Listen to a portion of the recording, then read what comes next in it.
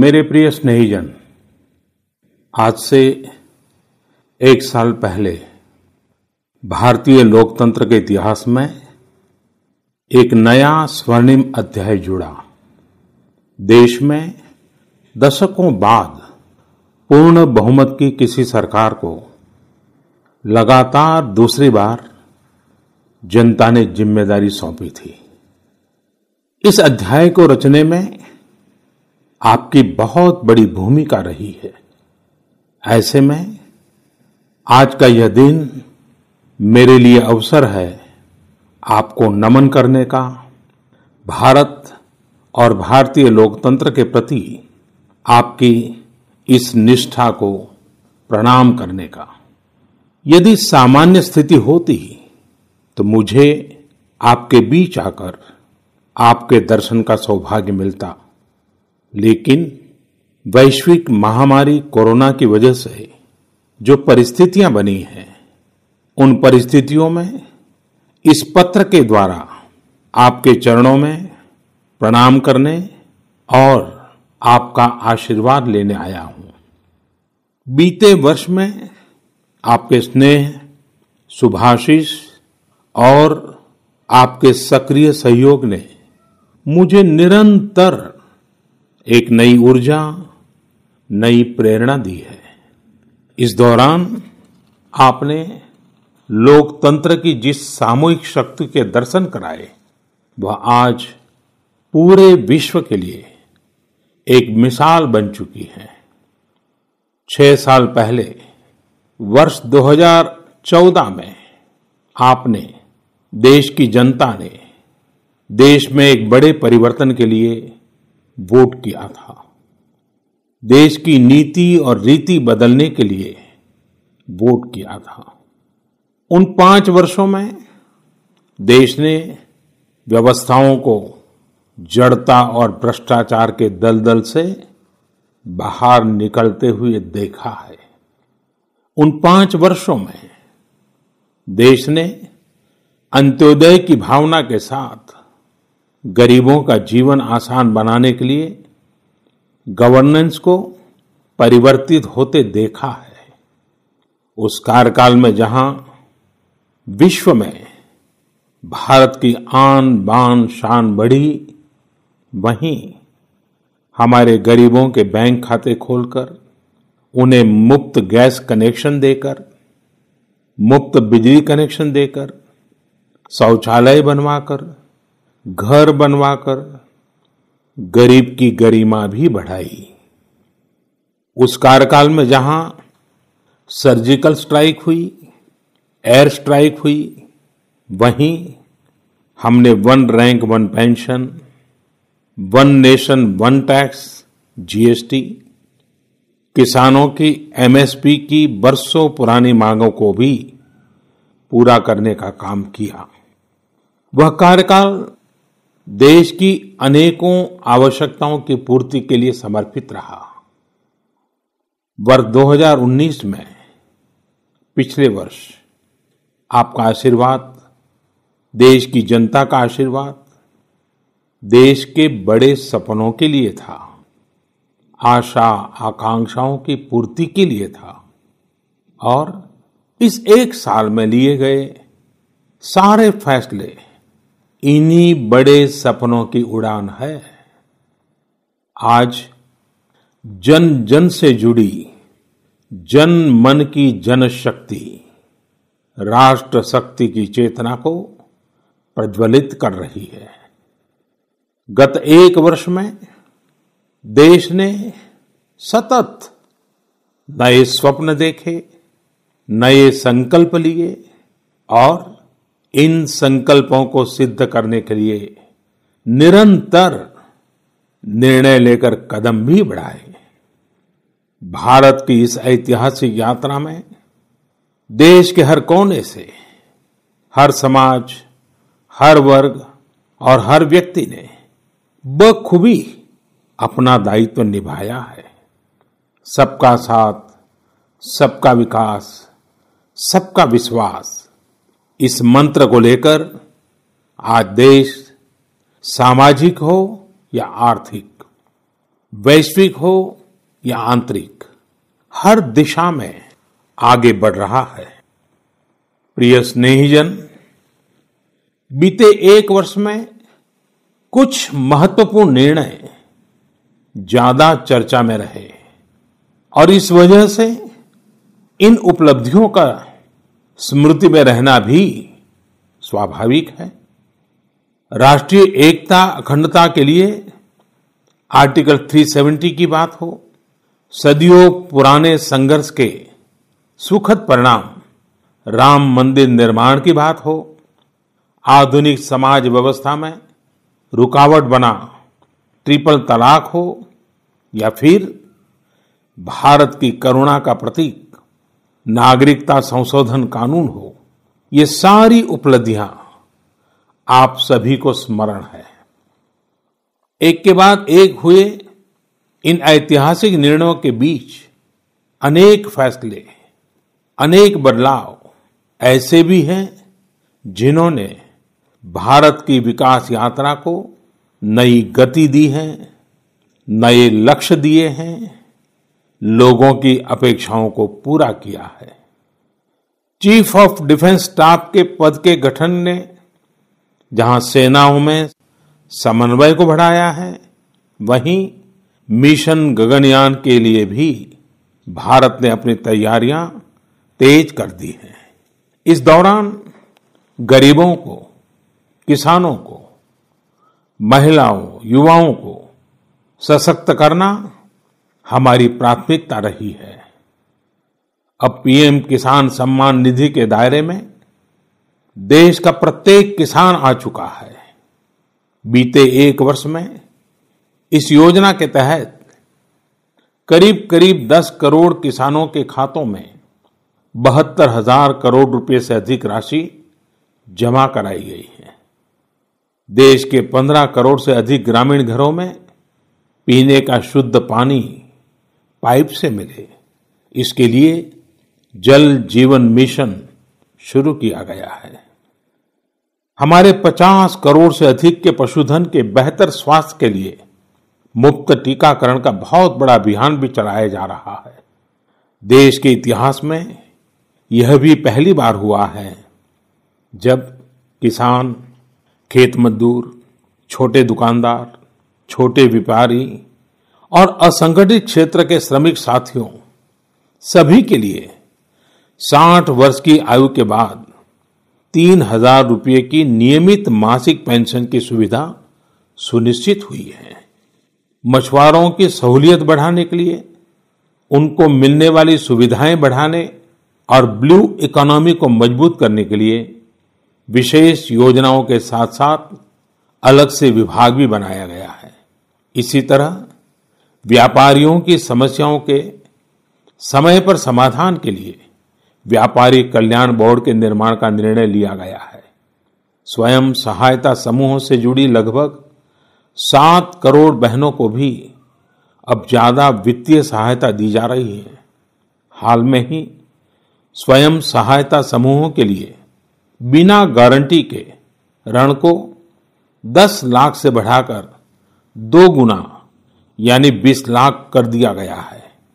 आदिवासी बच्चों की शिक्षा को ध्यान में रखते हुए देश में 450 से ज़्यादा नए एकलव्य मॉडल रेसिडेंशियल स्कूलों के निर्माण का अभियान शुरू किया गया है। सामान्य जन के हित से जुड़े बेहतर कानून बने। इसके लिए भी बीते वर्ष में तेज गति से कार्य हुआ है। हमारी संसद ने अपने कामकाज से दशकों पुराना रिकॉर्ड तोड़ दिया है।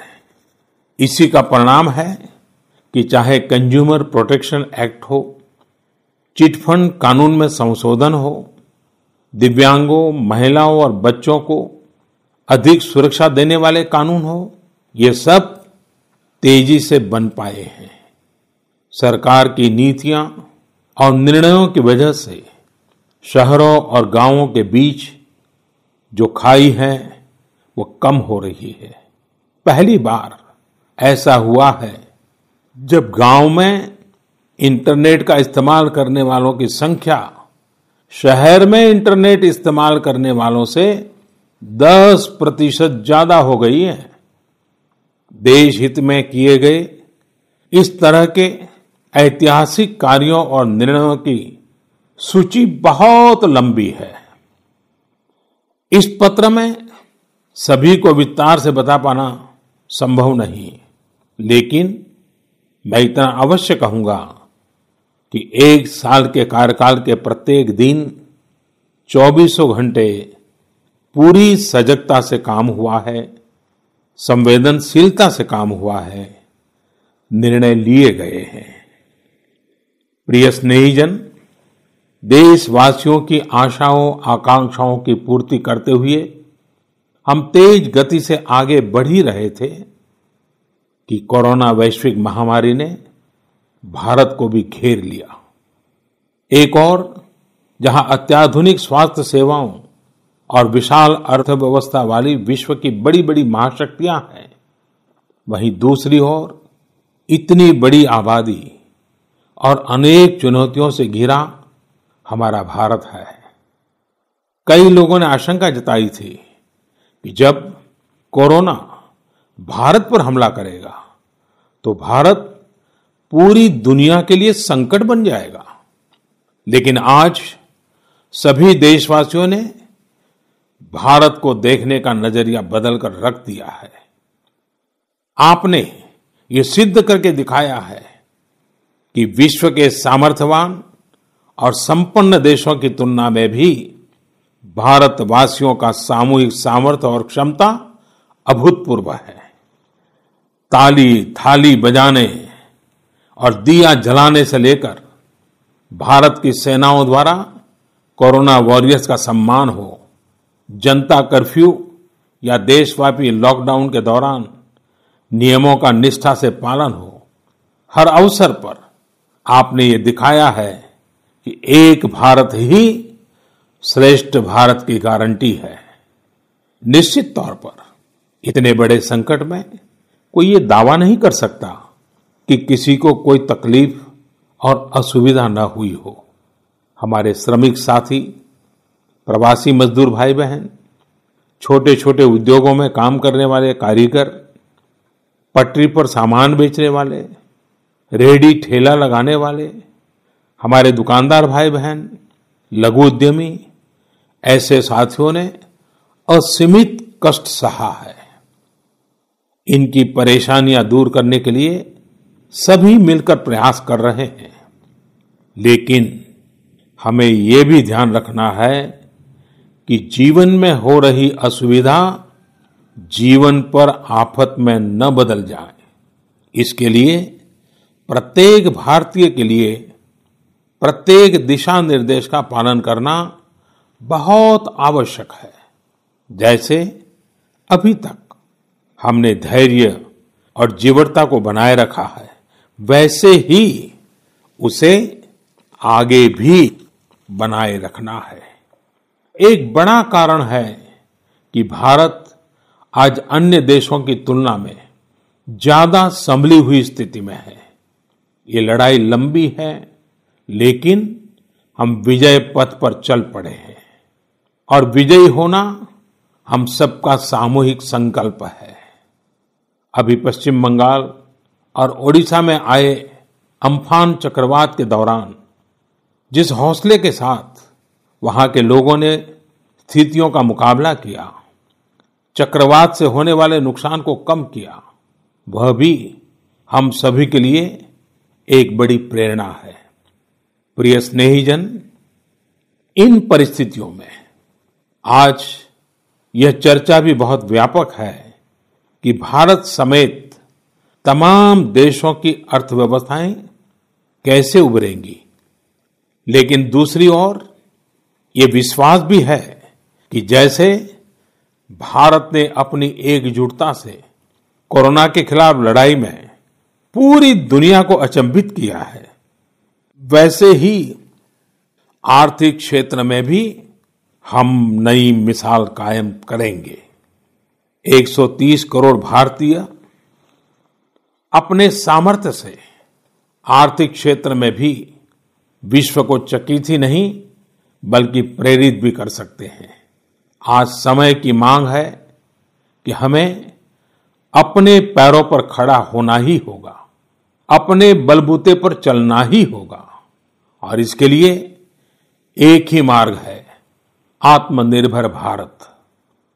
अभी हाल में आत्मनिर्भर भारत अभियान के लिए दिया गया 20 लाख करोड़ रुपए का पैकेज इसी दिशा में उठाया गया एक बड़ा कदम है। यह अभियान हर एक देशवासी के लिए, हमारे किसान, हमारे श्रमिक, हमारे लघु उद्यमी, हमारे स्टार्टअप से जुड़े नौजवान, सभी के लिए नए अवसरों का दौर लेकर आएगा। भारतीयों के पसीने से, परिश्रम से और उनकी प्रतिभा से बने लोकल उत्पादों के दम पर भारत आयात पर अपनी निर्भरता कम करेगा और आत्मनिर्भरता की ओर आगे बढ़ेगा। प्रिय स्नेहीजन, बीते छह वर्षों की इस यात्रा में आपने निरंतर मुझ पर आशीर्वाद बनाए रखा है। अपना प्रेम बढ़ाया है। आपके आशीर्वाद की शक्ति से ही देश पिछले एक साल में ऐतिहासिक निर्णयों और विकास की अभूतपूर्व गति के साथ आगे बढ़ा है। लेकिन फिर भी मुझे पता है कि अब भी बहुत कुछ करना बाकी है। देश के सामने चुनौतियाँ अनेक हैं, समस्याएँ अनेक है। मैं दिन रात प्रयास कर रहा हूँ। मुझमें कमी हो सकती है, लेकिन देश में कोई कमी नहीं है।